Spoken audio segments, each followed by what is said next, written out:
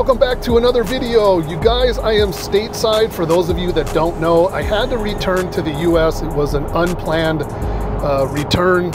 I had to take care of some non-reptile related business for which I've already accomplished and taken care of it. This is the beginning of my third week back and I figured since I had to come back only for about a five week period of time, I may as well be productive. So I've arranged two import shipments. I have Indonesia arriving, well, it's already arrived actually. I'm on my way to LAX to pick that one up. And on Wednesday night, I have Malaysia coming in. So two shipments are inbound. We've taken some pre-orders, our available page is updated. We are going to make an appearance at the Reptile Super Show. We will not have our normal booth, but we will be set up there with a friend. And I'll give you guys more details on where we'll be located, who we will be with, and if you guys are attending, um, where to look for us or look for me.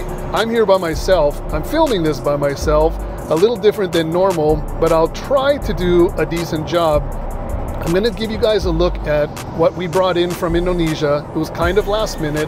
It's not amazing shipment, but um, some still decent stuff in the shipment. Same with Malaysia. It was last minute. This whole trip, this whole return trip was not planned.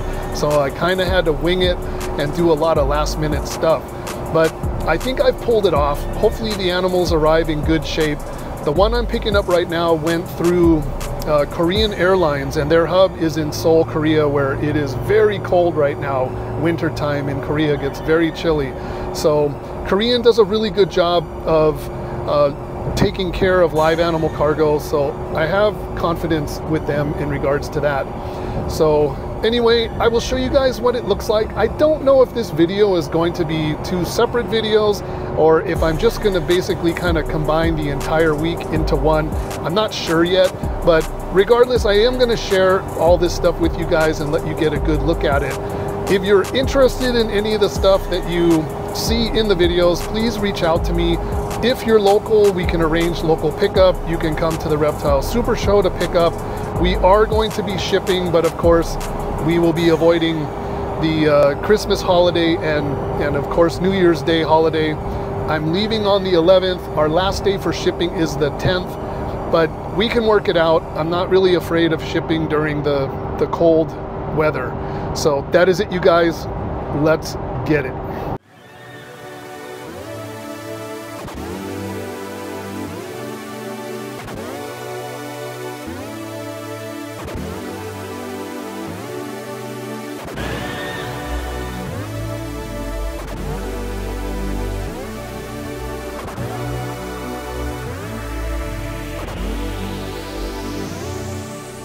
Okay, you guys, so we are clear. The shipment's clear. I am headed home. We're gonna do the unboxing and I'll show you guys whatever I see that's interesting.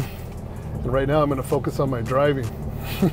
so without further ado, I am gonna show you guys some animals finally. Um, the, this is kind of the aftermath. I put a lot of animals into the pre-order customers' hands if you scroll Facebook like I do sometimes, you're probably gonna see a lot of people posting a lot of brand new animals, monitors, snakes, all kinds of stuff, even inverts. Pretty much all of it came from me, but um, I didn't film that stuff. It wasn't really mine per se to show you guys because it was pre-orders and I don't want to confuse you guys by showing you animals that are already spoken for uh, that are already sold. So uh, obviously those animals are gone and they're not here to show you, but I do have some really cool animals that I wanna show you guys. And the first one is a really big snake that I only took it out of the bag to give it a quick once over and put it away. So this will be interesting. Hopefully it goes okay. I'm gonna pull this animal out. I apologize for the weird camera work. I'm by myself, so I'm doing this selfie style. So I can't even point the camera down towards me removing this animal from the cage, but hopefully I'll be able to pop up into the camera view with this big snake to show you. It's going okay so far. There's no commotion yet. Okay, here we go. So he's actually working out pretty good. So this is a very large Ptyas carinata a big boy and probably my favorite animal from the shipment. And he is incredible. Pretty good size, not the biggest one I've ever seen, but he's he's up there in size and also girth. So some of these animals will get like they have the the genetics to be very big and thick. So don't bite me. We're not filming that kind of a video. So I don't know if you can hear the growl, but he's uh, he's making his making his I don't know if this microphone is picking it up, but it's pretty wild. The microphone is on my chest, and I kind of, I don't want him to be all up in my chest. but very, very cool animal. So we actually have six of these.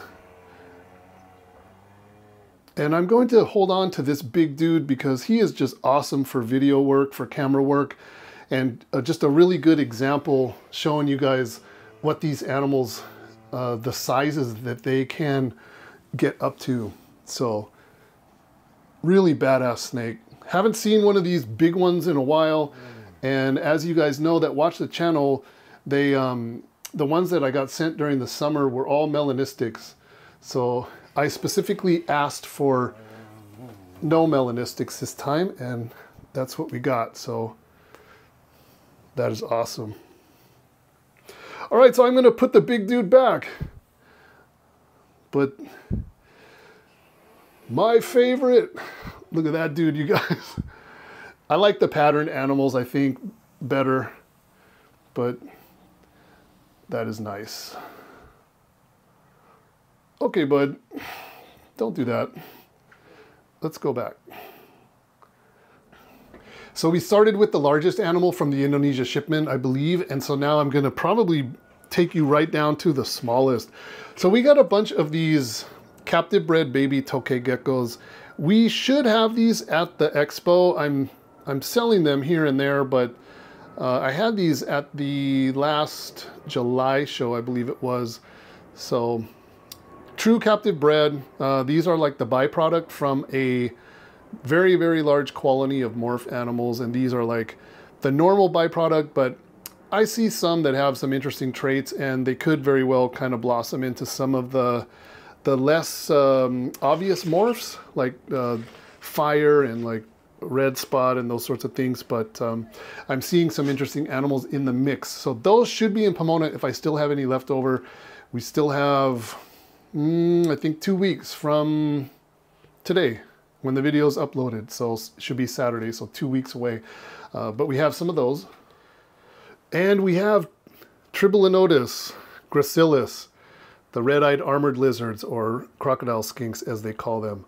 But these are very long-term captive animals. I've never received any in the past that were this robust and this big. These animals have been in captivity already for a number of months and they are big, beefy. They actually run from you and they're fast. They're hard to catch. Normally I'm used to seeing these in the past and like they're, you know, they, they look like they're dead. They just sit there. They don't even move or anything. But this is a whole different type of uh, quality here. So red-eyed armored lizards, they are really cool and I have five left. They are actually selling really fast, so I'm kind of doubtful that I'll have any in time for, um, or still have some for the show in Pomona. But you never know. But I'm down to five. So we'll see how many are left by the time that weekend rolls around. And we have elephant trunks. We have one pair. And these should be in the Pomona show.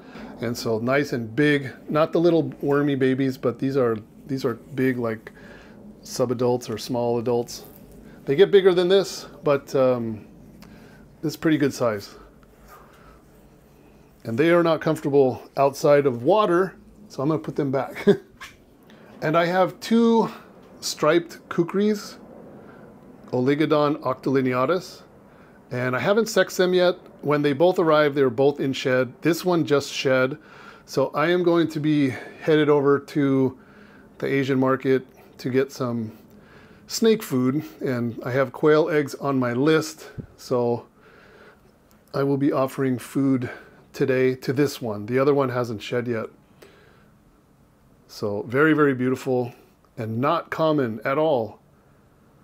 But I know there's some of you, a couple of you guys are keeping these already because you guys have messaged me already in the past. So I haven't sexed them yet, just only have two. So that is about it that's left over from the Indonesia shipment. The half a dozen Ptyas carinata and the elephant trunks, crocodile skinks, tokay geckos, that sort of thing. And those things will be for the show. I'm in discussion with a couple people about Ptyas carinata, but there's enough to go around. So I do have surplus still of those. I need to photograph them. They've all eaten, they've all fed already. They've been treated inside and out, believe it or not, with that first meal. So um, we're off to a really, really good start with those. Some of them are going into shed now, so I'll wait until they, um, they kind of get their fresh skin and they'll be really nice and pretty. So Malaysia, um, we got all those big boxes that came in. Most of it, again, was uh, pre-ordered like wholesale stuff, but I have pre-order animals in the back and I brought some animals over from the facility. A couple little leftovers, like one rubidis and one blue beauty. I'll probably pull a couple of those out to let you guys see. And then we have a couple other things. Um, this is probably worth showing as long as I don't get nailed.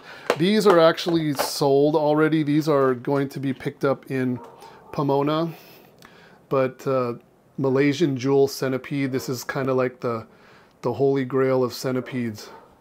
And they're beautiful. And they're cool when they're just hanging out and just sitting still, but when they erupt, they are very fast and very sketchy to deal with.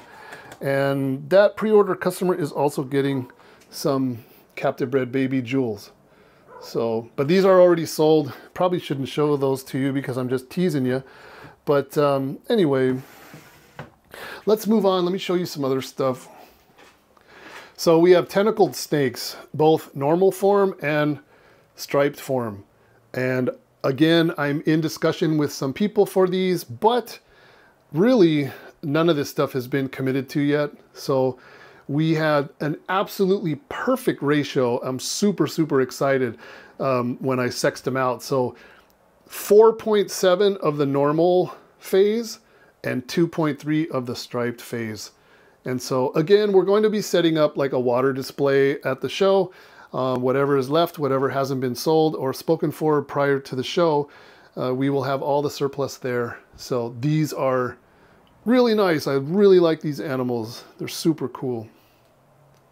So I think for the blue beauties, we just have one female that hasn't been spoken for yet. So these are the ones that I had as babies. Don't do that. And um, I grew them out in Malaysia in our facility. And so just had too many, just have a lot of them. And so I decided to cut back in some of that particular group. So I think at the show we will have one female if it doesn't get picked up prior to the expo. But if you need a female Blue Beauty, a really nice one, a nice blue one, um, let me know. I have one, I can send you pictures. Everybody fed, uh, everybody fed the day after arrival. So it's like, they came from my facility, but they're like no worse for wear. So some are in shed. And so the ones that I need to send photos to customers, I will probably wait until they shed out to do so. So anyway, very nice captive bred. These came from Europe originally as babies. And I have two male spilotes, really big Nicaraguan animals, and they've been with us for quite a while now they were in the facility. I sent these over in 2020 and they were already pretty decent size at that point and they've just done nothing but growing. So demeanor is pretty good. They're easily excited, just like all this stuff is very visual. But as long as you're calm, they're calm. And yeah, they're nice snakes. I think this one is in shed actually, but big and, and nice. So again, something else, I just needed to make some cage space because we're making some changes in Malaysia. So just made a little bit of surplus available. So very nice animal, very big, big and calm. Yeah, it's going into shed. I can tell by the ventral scales, they're getting kind of blue. So be a lot prettier fresh shed, that's for sure.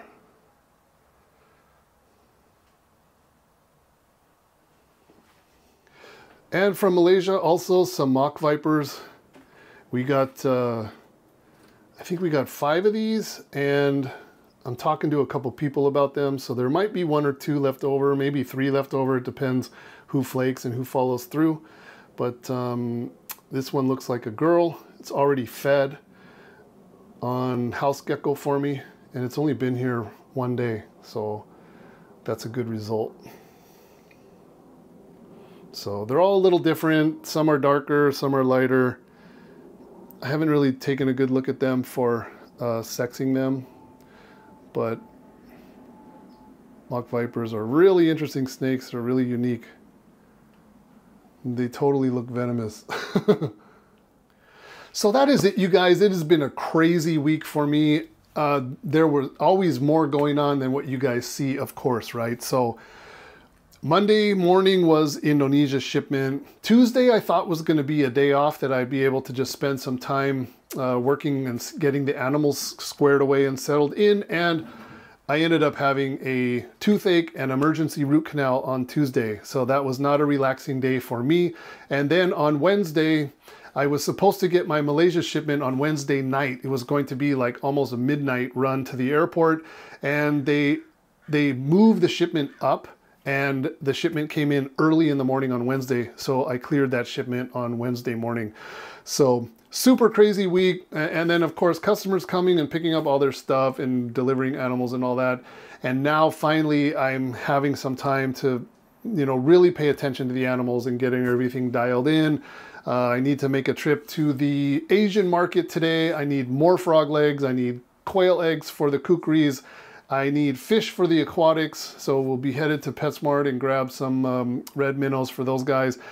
Yeah, so it's uh, it's like back in action again, super busy, but the time is going by very fast, which is good for me because on January 11th, I fly back to Thailand and I see Apple again and I am working on many, many different levels of reptile stuff. I have so many things going on. I can't even begin to tell you guys all about it, but it's all good stuff. It's all super exciting. And that is it. I hope you guys enjoyed the video. We will see you in the next one. Take care.